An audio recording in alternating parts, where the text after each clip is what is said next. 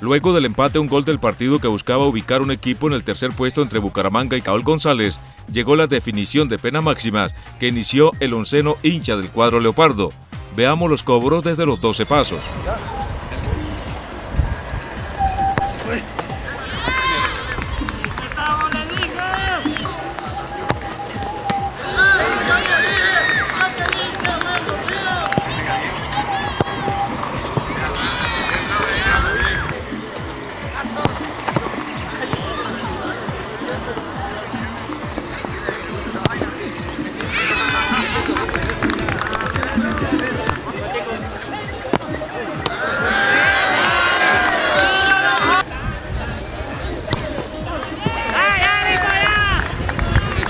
Luego de esta fase de tiro de pena máxima, Atlético Bucaramanga obtuvo la tercera casilla del torneo. En los actos de clausura, luego de entonar los himnos de Colombia y Ocaña, el presidente del comité organizador, Mario Lobo, se dirigió a los presentes.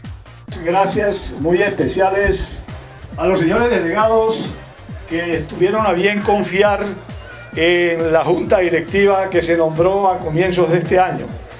Pedirles también un poco de paciencia porque nosotros hubiésemos querido que hubiera salido todo muy, pero muy superior, pero creo que con lo que alcanzamos ahí hoy, con la ayuda de todos, creo que quedamos contentos.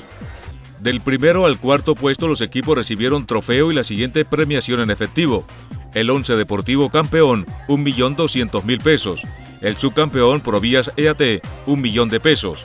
Tercer puesto, Atlético Bucaramanga. Y cuarto lugar, Caol, 900.000 pesos cada uno el goleador Giovanni Arias de Caol y la valla menos vencida Gustavo Cañizares de Caol y Alberto Manzano de Provías, 125 mil pesos cada uno.